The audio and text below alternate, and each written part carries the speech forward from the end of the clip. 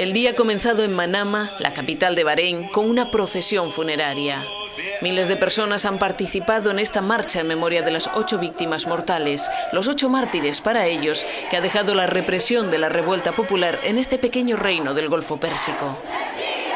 Es solo un anticipo de lo que va a ocurrir hoy. Los jóvenes de la Plaza de la Perla se desperezaban esta mañana antes de la gran manifestación, la gran prueba de fuerza contra el poder suní y la dinastía de los Jalifa que reina Bahrein desde hace dos siglos y medio. Es la revolución del mundo árabe. La gente se revela contra la injusticia de sus líderes. La revolución será algo bueno. La victoria será para las naciones árabes. El rey de Bahrein hizo ayer un gesto al liberar a los presos chiíes, una de las reivindicaciones de la oposición.